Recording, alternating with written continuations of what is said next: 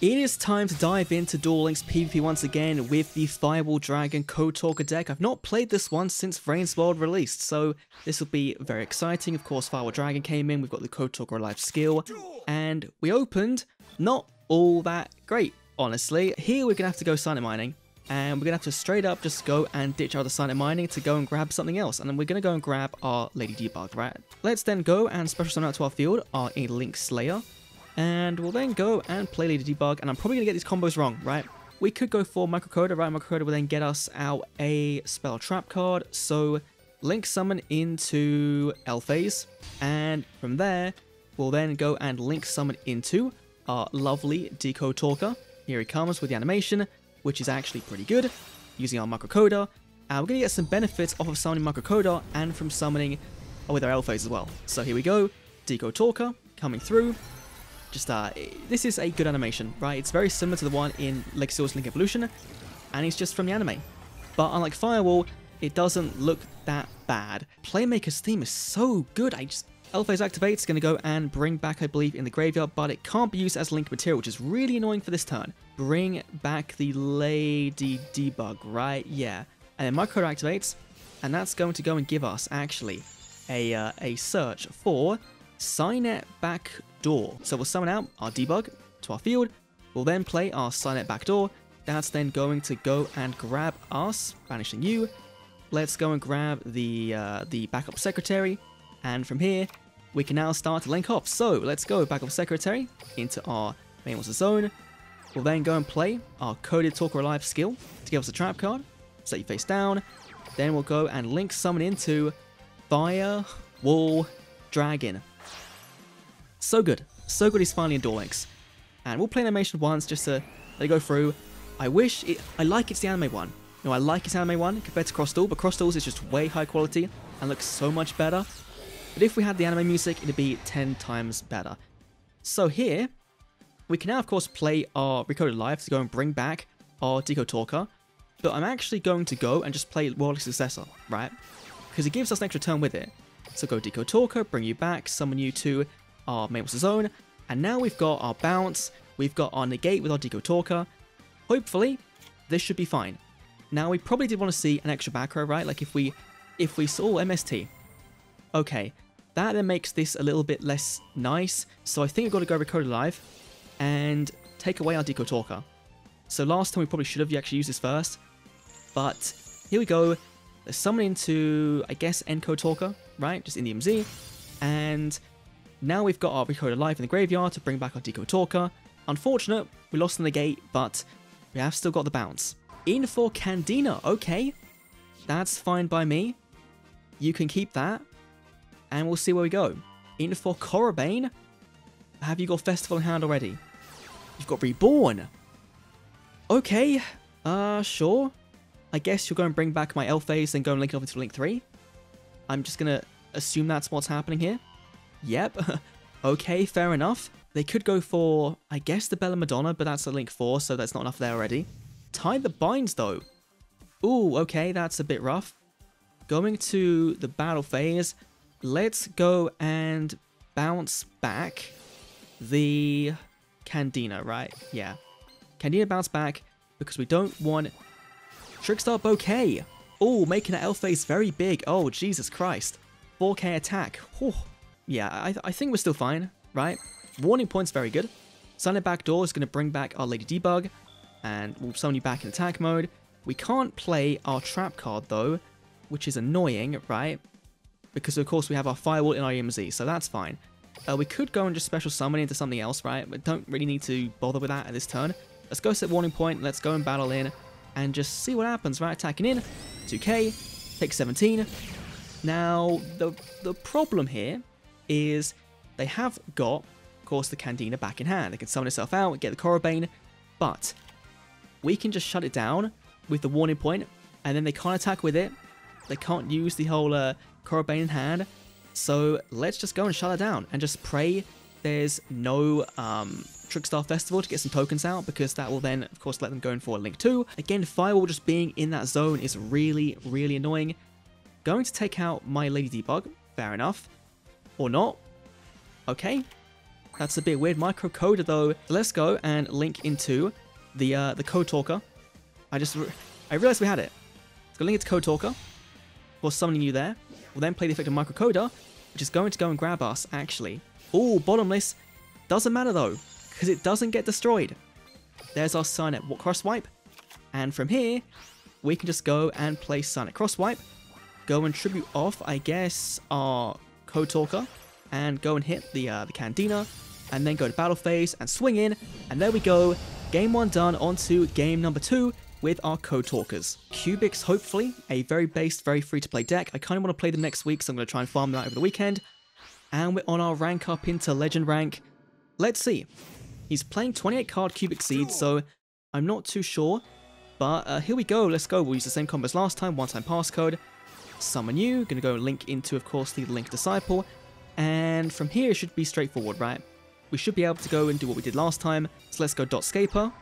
And I guess we can also summon the Sea Archiver as well, just, just why not? Gives us our materials. So let's go and summon into our Deco Talker. And so yeah, we're not going to end on the best board in the world, right? But we'll end on a board at least. Here we go, active Dot Scaper coming back from the graveyard. Summon you in defense, we can then of course play our spell card, Code Talker alive. We go, set that. We can then go and bring out our Firewall Dragon. And I kind of don't want to summon into a decode our, our Code Talker yet. So I'm going to summon Firewall. And I'm going to go and play Backup Secretary into the link zone, pointed to it. So we've, we've at least got the balance right, but we've also got our code Alive in case we want to use it later in the turn. So overall, okay-ish hand.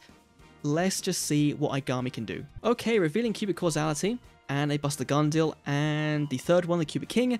Here comes Crimson Nova, the Dark Cubic Lord, unaffected by Firewall Dragon's effects.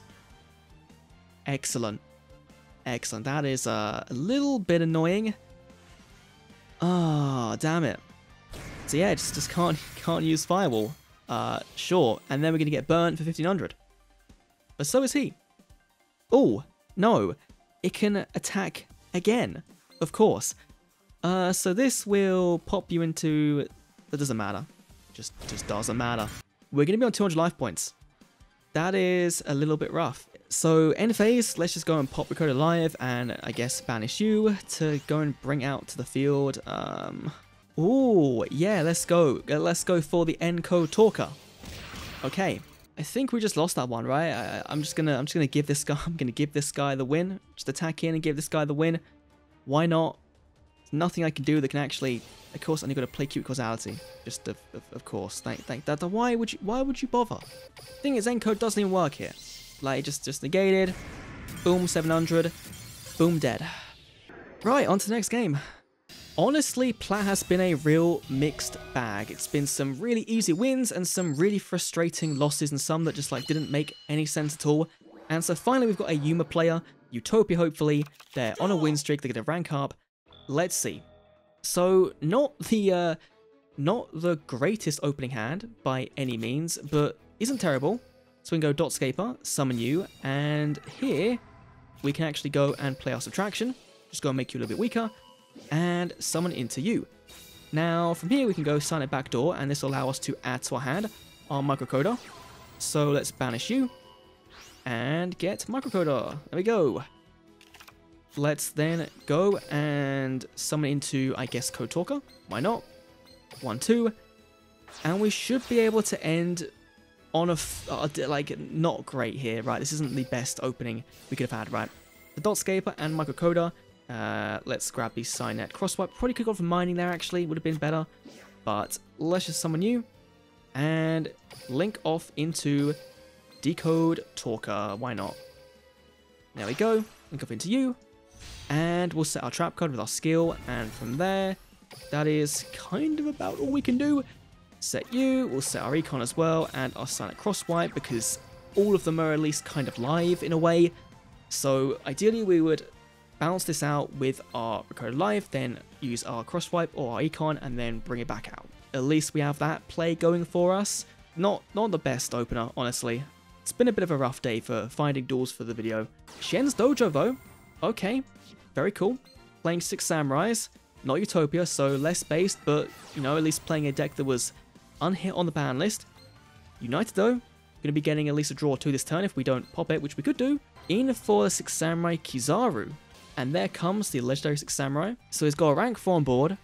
He's got access to the level 5, I guess. By these two, he can search out this to summon out the level 1. So I think here we've got to go and use Cross Wipe. Tribute this to go and pop out the Dojo. I think that's kind of the main play we've got. And then we wait and see what happens. He's going to get his draw 2 off, which is fine. Seizing into Heroic Champion Excalibur. Oh, okay.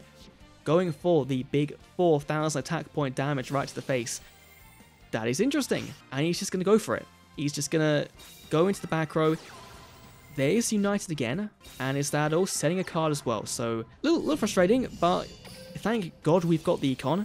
So we can just put you to defense and be safe from that damage. You've wasted your guys. Now, let's see how things go here. Let's go Recode Live. And we'll go and banish our Deco Talker to go and bring back out our Encode Talker. There we go. Hopefully now we can actually like make a firewall and do some things here. Oh, we can do. Oh, we can do. Okay. That is lovely. We can't actually make firewall yet because this, this needs a empty EMZ to summon out that back out. So that is a bit rough on our front. Summon you, gain attack points, and and here we can then go and make Elphase. So let's go link 2 in for Elphase pointing upwards. That's going to, I believe, give gain attack points, right? Yeah, so overall, not a too bad of a board. If he does try and pop these two, then we have got, you know, we can float back into Deco Talker, so that's fine. Let's just attack in with our phase and destroy this uh, Heroic Challenger, hopefully, please. I guess you might have the Special Summon Trap card, right? That's fine. And attack in for 33. Let's see. What is that back row? Waiting for response. That's a good sign. And he's just gone. Okay. Surely this will be the final duel of the video. It's been about two hours now of me trying to find a duel to end things off. And honestly, they've been so up and down. They've been really good or really bad. And that's kind of my experience so far with Firewall. And with Code Talkers is that they're really good when they're really good, but when they're really bad, they're really bad and they really struggle deal with some boards. And we're going against a Magical Musket deck, so we've got to make sure we don't play any spell cards into their column. So they have got, of course, a pop in the trap card, they've got the destruction protection, and they've got the effect negation. And so, really don't want any of those happening. So let's go Silent Mining, and just kind of guarantee we can get some plays off here, right? So Dotscape to the graveyard, and with that, we'll then go and get our Lady Debug, and if that gets negated, it's fine right? It's, it's fine. Everything else is a special summon, so actually this works out great. So let's go Dotscaper, and we'll summon you into the same zone as the Starfire, right? Okay, going for the Dancing Needle, which is going to banish cards in the graveyard. Fine, fair enough. Starfire can then go and search for a level 4 lower, so we can then summon out the Caspar, I believe. And Caspar then searches for another one on summon, so that is cool. Let's then go for the Lady Debug and activate you to go and grab... Uh, the only other card we can grab is our Microcoder. Fair enough. We'll then go and summon into our backup Sorcerer. And I think they've not got anything else. Really? You've, you've got absolutely nothing else? Okay, let's just, let's see it. Maybe they're holding on for a choke point, right? Maybe that's it. Let's go Elphase, and then let's go and use Elphase with our Microcoder. I love this combo to go for our lovely Deco Talker. And then we just get more bodies back on board. So overall it works out quite nicely, right? So we go, Deco Talker, we'll then play Elphase, and Elphase can go and bring back, uh, I guess we'd kind of want Microcoder, but I think that, again, getting Debug the next turn is pretty big. And here, we can go for, um, I guess cross wipe would be best, right? We'll go cross wipe. We'll summon out our Lady Debug to this zone here. We can then go and play the effect of our Sea Archiver to go and summon you out as well. And then we'll grab our, just gonna scoop. There we go. I'm gonna try and find one more duel. This one's going in. So here we go, final duel versus a Blue Eyes player, maybe a Seto Kaiba, we're going first, 21 card deck, and we've opened pretty decently, right? Let's go Lady Debug in for, of course, our, uh, our, our, lovely uh, Code Talker, our Microcoder, and then from here we can just uh, go straight for the Talker. So there we go, summon you to our EMZ, one, two, and then get the search off for uh, kind of, do we want a search here for something? Like, getting the mining would be good because that gives us access to Rush Summon, but it doesn't actually change the core actual value of our hand, so I think I'll go for this, right, the cross wipe. And then we go for the backup secretary, summon you here, and here we then go for our Decode Talker, summon you, and unfortunately, we can't do a super crazy board. Right, to end on we go Decode Talker, summon you, and then let's go play the skill, Code Talker alive, set this face down. We can then play World Legacy Succession to bring back one of our guys, I guess. We'll just summon into the Microcoder, and from here, we can just summon into Firewall, and do we really want to though? And the answer is honestly no.